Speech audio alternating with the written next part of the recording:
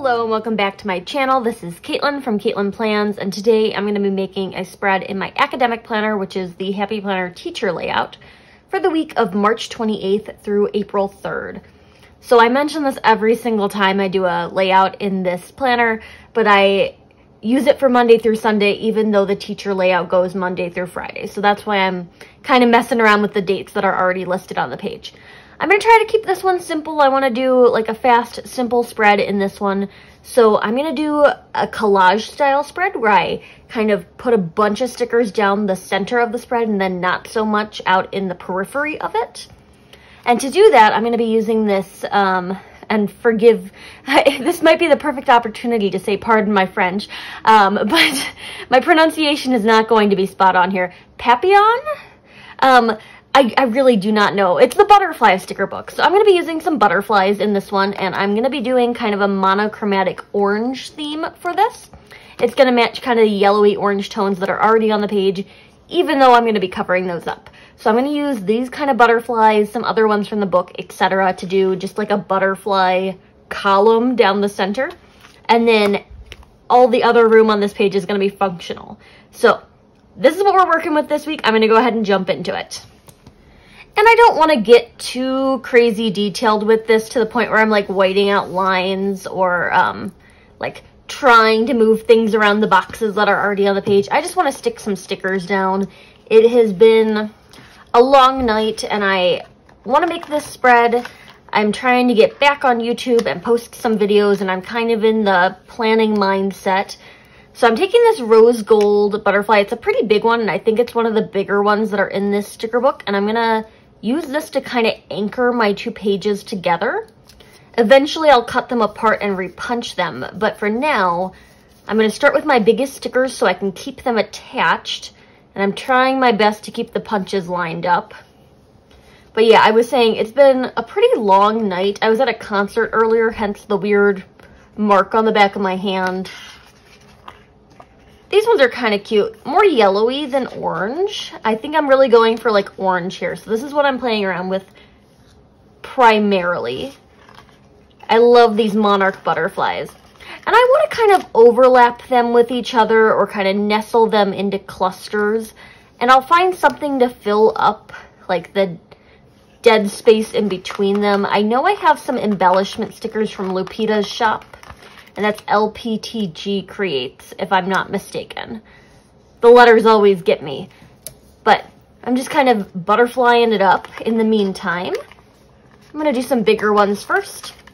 And this is a pretty simple way to make a spread if you need a lot of functional room, um, and you can spare like this row of boxes.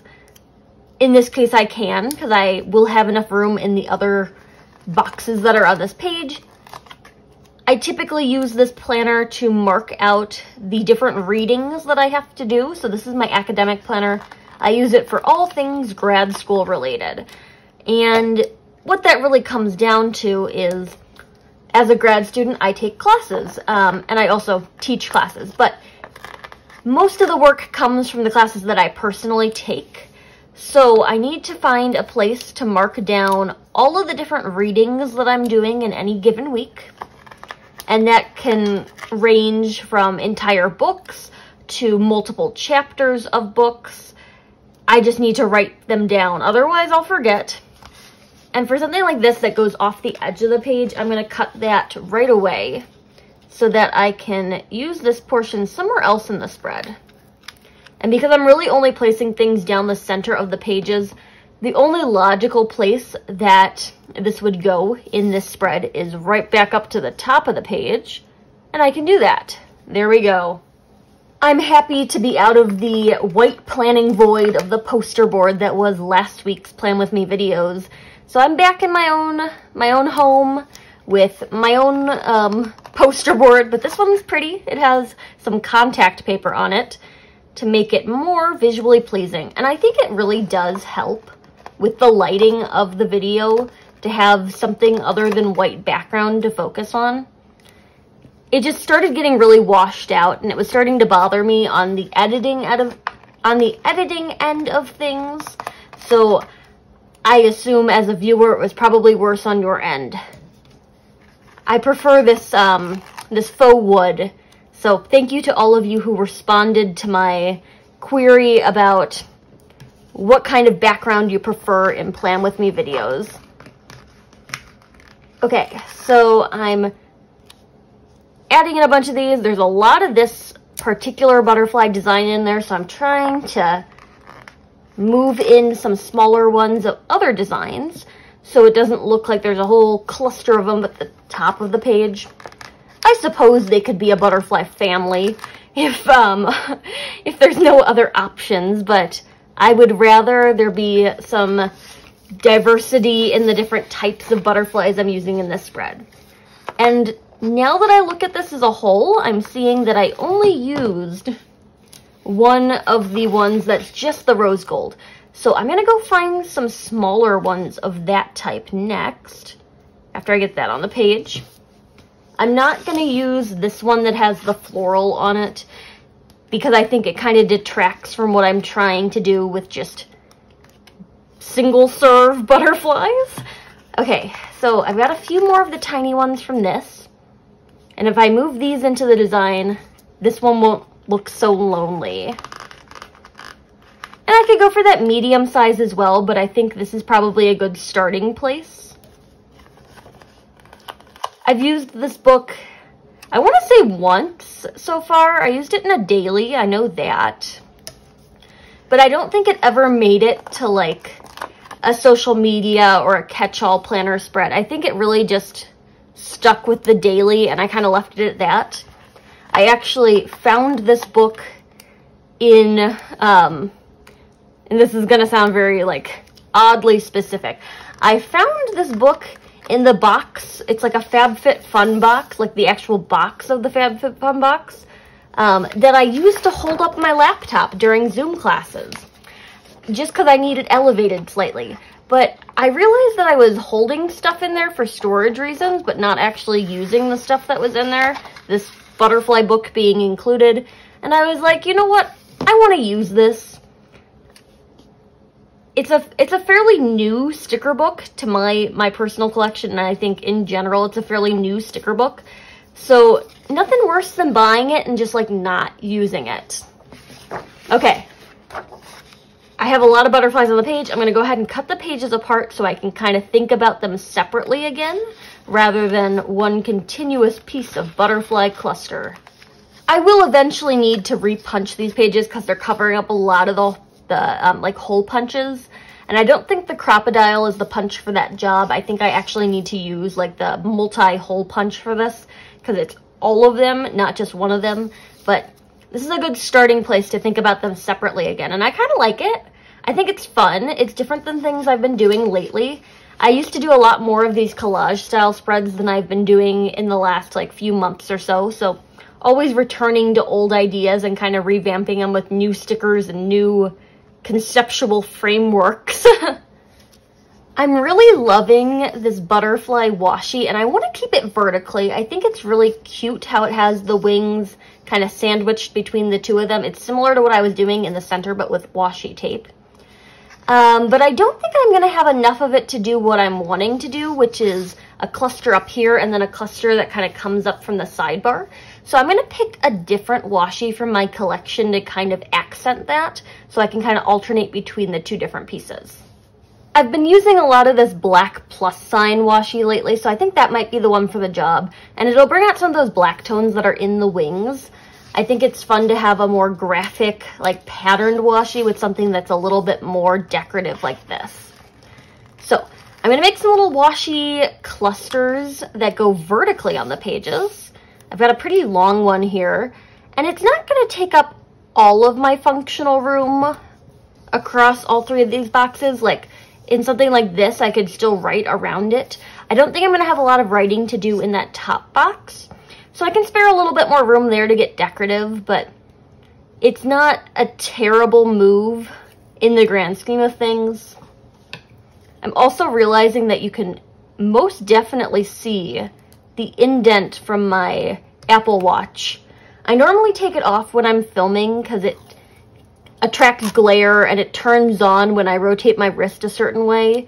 So I just don't want to have like an Apple Watch on my wrist while I'm filming a video.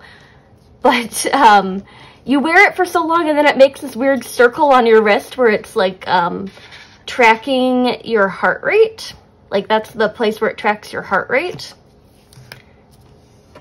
And it just looks kind of wonky just to have that weird circle on your wrist. So I normally take it off and I normally like try to wait it out, wait the circle away, but today I was feeling impatient. So I did the plus signs and I did the butterflies and then I'm going to do another strip of them just to the left of that. And I was trying to do things at different heights, like they kind of slope down that direction. I think it'll make more sense when I get the other cluster into play. So I'm going to do the sidebar, but I first need to white all of these dates out. And eventually I'll need to go back in and find some colorful boxes to cover these up with. To match that uh, black and white plus sign washi, I'll probably do black boxes, which is always a good move now that I have my Mojo Jojo Plans Black Colorful Boxes sticker book. So black boxes are in abundance, which is a wonderful thing to say because I go through those and I go through the gold ones way too fast. Now I'm going to repeat the process of the washi taping down here. And there's also never very much going on in this bottom row of boxes. That's kind of the miscellaneous section. So I don't feel too bad about covering it up with some washi tape. Using the black and white plus, plus signs, I don't know where this is from, so unfortunately I cannot tell you. Um, I would assume Michaels. That's where most of my washi tape comes from. Granted, they don't actually have that um, decent of a supply at, at the Michaels I go to, but you can always find one or two gems, and washi tape lasts you a long time. Much longer than you think it's going to.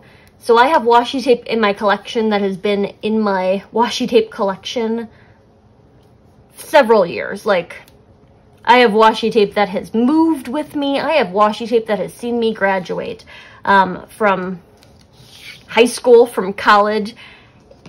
The craft supplies comes with me everywhere I go, and I I'm trying to de-stash some of it, but it's hard to let go of it. You know, you get your sentimental attachment to your washi tape. Um, so that's kind of what I'm playing around with there. I'm going to go ahead and find some black boxes to deal with this column. I got the Mojo Jojo Plans Black Boxes book. And I should say, I graduated from college in 2019, so it's, it's pretty impressive that I've had washi tape for the last, like, three years, um, if not the last seven years when I... Is that when I graduated from high school? I don't even remember at this point. Um, but the washi tape is a constant in my life. And part of me just wishes they made smaller rolls of washi tape that I would actually just like run out of. And then I could like feel less guilty about buying more of it. I just got a Simply Gilded order in the mail with three new washi tapes. Well, actually it was four new washi tapes in the mail. They sent me the wrong one and they were very apologetic about like the fact that they accidentally sent me the wrong one. And they're going to send me the right one, but it's like now I have even more washi tape than I ordered in the first place. Very sweet of them, but I just ordered more washi tape. So the amount of washi tape that comes into the collection does not match the amount that goes out of the collection. So I wish, I wish I could get through it faster, is what I'm saying. Maybe I should turn into one of those people who makes the washi tape art, you know, where they like draw the shapes and then they fill it in with washi tape of varying colors. That's most of what my TikTok is, is like crafting content. But I digress. I've gone on a lot of tangents in this video. I think it's because I'm up late and I just got like home from something and I just have a lot of energy. But Boxes are on the page. I think that looks really good with just the plain black boxes after all the different details that are coming into play in the center of the page and these little clusters. So that's looking good. I'll probably use these to mark out meetings in a second. I do want to work in a quote somewhere, so this is what I've got as far as quotes go in this book.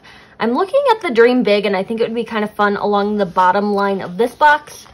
But to make that work, I want to take this skinnier strip of washi tape and just move it up ever so slightly so that I can put the quote underneath it.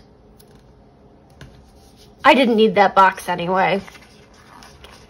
I probably should have paid attention to all of my various syllabi to count out how many boxes I need for any given class prior to making this spread, but I like to live dangerously, so if there's not enough room in the boxes, I will make room, but right now I just want to put butterflies on pages and make something pretty. So we've got Dream Big down there, and then there's a couple other in this font. So Shine Your Light, You Are Magic, Find Your Bliss, Bold, Beautiful, and Brave. Why is Brave capitalized when the other two aren't? Forget about it. I'm not even going to bother. Maybe that's the one we go with tonight. Some random capitalization. Never made a day worse. Okay. This one's going to go up into this cluster. And because it's foiled, it'll still be visible even if I place it on top of that butterfly washi tape. And I think it looks good to have it go over that. It adds some visual interest and it really says like these are grouped together rather than rather than them being two disjointed parts that kind of coexist next to each other. That's good for quotes. Um, I'm going to add in meetings now. So, oh no, okay. Well, I'll use those boxes very soon. I use a lot of black colorful boxes. I'm looking for the square ones, which will fill up a classic sized teacher planner box. This is the big sized teacher planner, so there's going to be a little bit of breathing room around them, which I think I prefer to having the boxes touch the edges of the page boxes. So meeting in this class, and I actually have to lead said meeting, so definitely want to make sure I have a box for that. And then I think I'm going to have a meeting for this class right here. And if not a meeting, I know I have an assignment due for that one. So I'm going to put this here for that.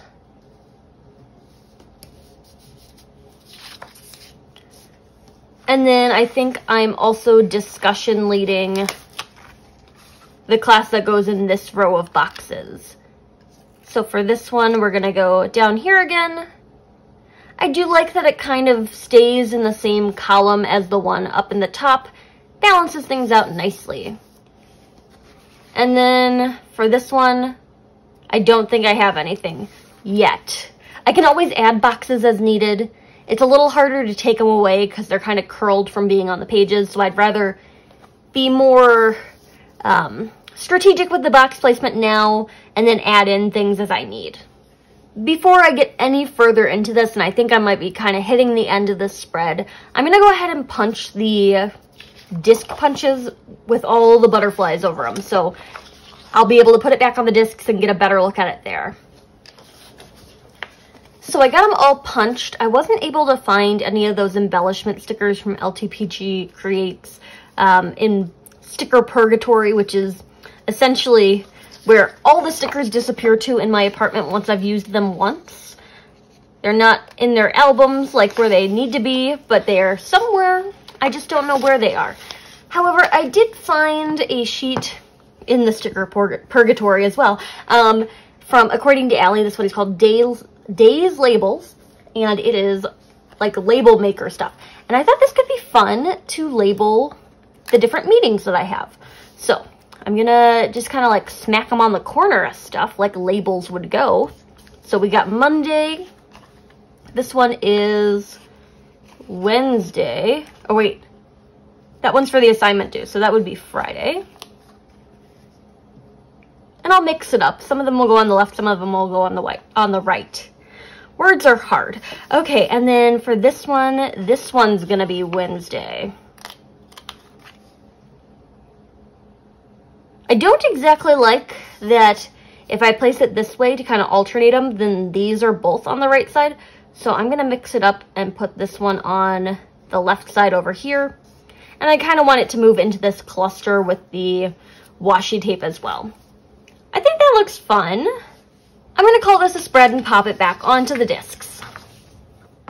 I love the way this turned out. Eventually, I'm to need some bullet points in here to kind of mark the different readings so I can check things off when I get them done. But I'll figure that out when I look at all the syllabi and like figure out when things are actually like scheduled for. So that'll be a last step. I'll probably do orange to match the butterflies. It'll make sense. But for the time being, I'm very happy with this. I think it's fun to have all these butterflies in the middle. I'm really feeling the spring weather, even though it's been like snowing and raining and then really cold and then 75 degrees. But I guess that is what spring weather is, so I can't be too angry about that. Um, but I'm imagining like a nice 60 degree spring and I like the butterflies with that concept. So this is what we've got for the academic planner this week. I am very pleased with it. I didn't find a place to put the dates on here, but that's like the least of my concerns right now. I think it's just fun as it is. So I'm gonna call it a night on this one. Here you go. If you liked this video, hit that like button down below. You can also subscribe to my channel for more fun planner-related content and follow me on Instagram at Katelyn Plans where I share after the pen photos as well as photos of spreads that did not get videos. Thanks for watching and happy planning!